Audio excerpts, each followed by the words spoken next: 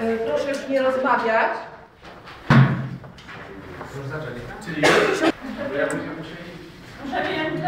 Proszę nie rozmawiać, tak?